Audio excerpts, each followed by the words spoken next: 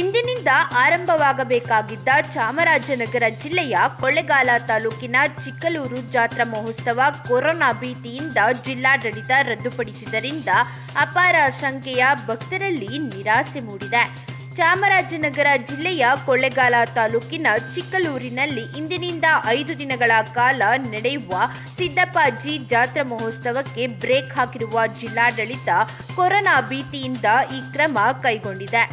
ಚಿಕ್ಕಲೂರಿನಲ್ಲಿ ನಡೆಯುವ ಐದು ದಿನಗಳ ಕಾಲ ಜಾತ್ರಾ ಮಹೋತ್ಸವಕ್ಕೆ ರಾಜ್ಯಾದ್ಯಂತ ಲಕ್ಷಾಂತರ ಮಂದಿ ಭಾಗವಹಿಸಿ ಪಂಕ್ತಿ ಭೋಜನ ಮಾಡಿ ಸಿದ್ದಪ್ಪಾಜಿ ಸೇವೆ ಮಾಡುತ್ತಿದ್ರು.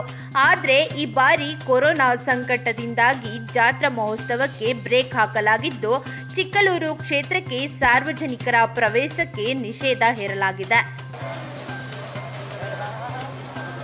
ದೇವಾಲಯದ ಆಡಳಿತ ಮಂಡಳಿ ಸಿಬ್ಬಂದಿಗಳನ್ನು ಹೊರತುಪಡಿಸಿದರೆ ಕರ್ತವ್ಯ ನಿಮಿತ್ತ ಆಗಮಿಸುವ ಸರ್ಕಾರಿ ಅಧಿಕಾರಿಗಳು, ಸಿಬ್ಬಂದಿಗಳು ಮತ್ತು ಜನಪ್ರತಿನಿಧಿಗಳನ್ನು ಹೊರತುಪಡಿಸಿ ಬೇರೆ ಯಾರಿಗೂ ಕ್ಷೇತ್ರದೊಳಗೆ ಪ್ರವೇಶವಿಲ್ಲದಂತೆ ನಾಕಬಂದಿ ಹಾಕಲಾಗಿದೆ. ಪೊಲೀಸ್ ಇಲಾಖೆ ಮುನ್ನೆಚ್ಚರಿಕೆ ಕ್ರಮ ವಹಿಸಿ ಚಿಕ್ಕಲೂರು ಕ್ಷೇತ್ರದೊಳಗೆ ಯಾರು ಪ್ರವೇಶ ಮಾಡದಂತೆ ಕಟ್ಟೆಚ್ಚರ ವಹಿಸಿದೆ.